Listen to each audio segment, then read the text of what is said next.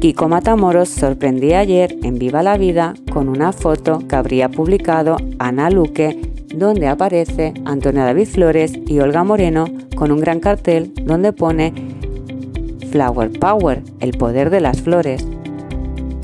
Una foto muy significativa tras la reciente ruptura de Marta Risco con Antonio David.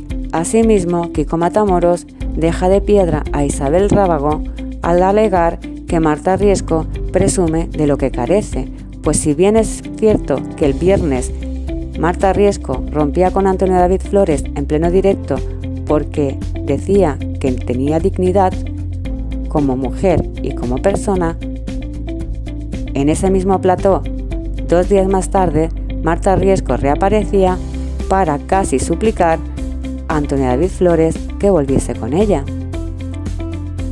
¿Y vosotros qué opináis? Que me acaban de mandar la íntima amiga de Olga Moreno, Ana Luque.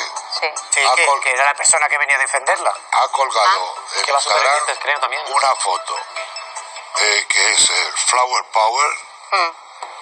y están Antonio David, Olga, etcétera. Es decir, es como de repente un mensaje del poder de los flores. Eh, yo no sé con qué. ¿Esa foto la ha colgado hoy? Hoy. Sí.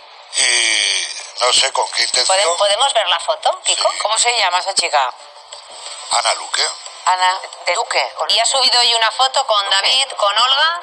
Sí, sí. Eh, Cuidado que el rumor está por ahí. Eh, no, no, el rumor fue lo dicho de Málaga, pero a lo que se ha referido, a lo que se ha referido antes, a lo que se ha referido antes, esta Marta. Es la, esta es la foto. A ver, enseña, enséñala, si puede ser. A esa Ana Luque, ¿cuál es? Valeriana.